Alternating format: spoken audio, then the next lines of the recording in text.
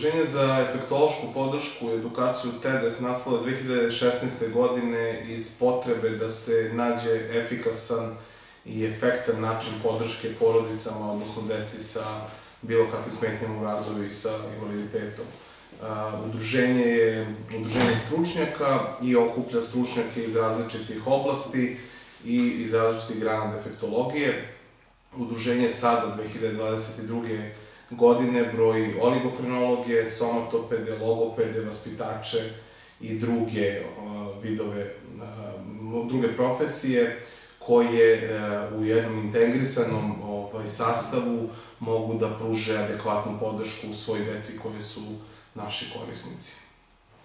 A, koliko korisnika je do sad prošlo kroz ovo udruženje? Od 2016. godine do sada a, mislim da smo pružili podršku preko 200 porodica sa teritorije grada Subotice i iz šire neke ovaj, oblasti, iz Bačke Topole, dolaze nam čak i ljudi iz Novog Sada i Beograda na te takozvane prve e, preglede i na defektološke tretmane. I onako smo udruženje koje baš aktivno radi, radimo svakog dana od ponedeljka do petka i radimo svakoga dana od 2 do 7 uveče, tako da spadamo u red udruženja koje ima svoje radno vreme i kad god dođete u Matije Gupca 14, možete u udruženju da zateknete nekog od efektologa ko radi sa, sa decom u, tom momentu. Koje projekte ste do sad e, realizovali i na šta ste posebno ponosni, odnosno i šta je bilo do sada najveći izazov?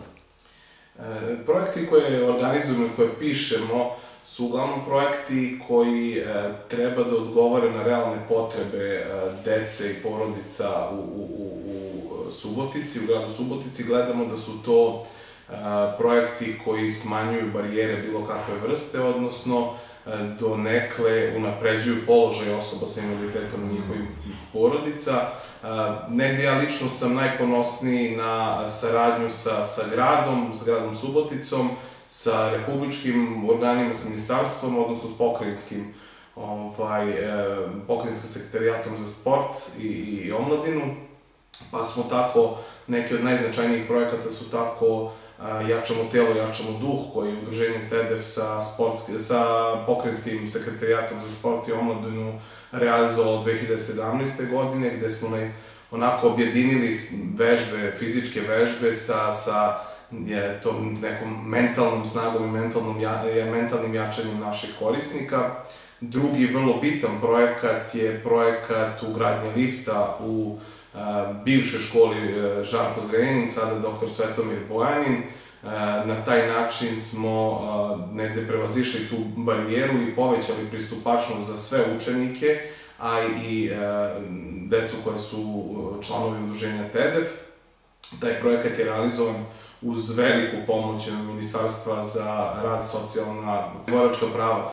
Tako da to su dva projekta od većih projekata i ove godine e, realizujemo sada u toku jedan e, takođe lepi veliki projekat, a to je projekat Podržimo porodicu, koji smo uspeli da sada realizujemo uz pomoć grada Subotice, odnosno sektora za društveno-humanitarni rad, i e, uz pomoć e, sektora za društveno humanitarni rad smo opremili naše prostorije tako da one mogu da odgovore na sve izazove koje imamo u ranom razvoju i intervenciji i cilj nam je da vikendima kada se održavaju ove radionice pomognemo porodicama, odnosno njihovoj dečici, da što pre detektuju jednu vrstu problema, a zatim da krenemo i sa tom ranom intervencijom koja je velikog značaja.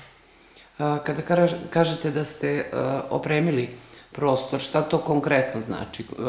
Da li je u pitanju nameštaj ili didaktički materijal? Da, u pitanju su terapeutska sredstva, odnosno didaktički materijal, da odgovara u radu sa decom uzrasta, pa recimo od par meseci života, pa sve do nekog predškolskog i školskog uzrasta.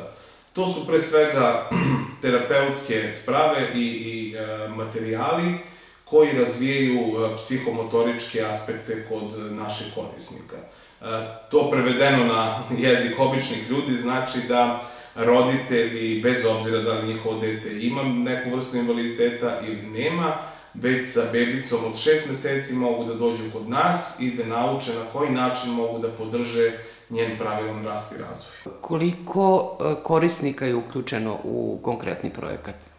Da, u konkretni projekat, projekat je sada u, na početku, um, on je krenuo sa realizacijom nešto kasnije od planiranog, trebalo da je krenuo u julu, sada je krenuo od avgusta, tako da smo na početku projekta, polako nam se preključuju, za sada radimo sa 10 porodica u dve grupe, e, dva zomatopeda, dve, dva defektologa, i onako poprilično je lep odaziv za, za početak i poprilično su pozitivne povratne reakcije koje dobijamo od roditelja, rado dolaze sa, sa dečicom na, na te vežbe. E, ipak e, govorimo o, o vremenu u kome epidemija i, i dalje vlada i roditelji se ne usuđuju tako lako, pogotovo sa tako malom decom da dolaze na masovne vežbe, ali poslednji, uprkos tome, odaziv je stvarno lep.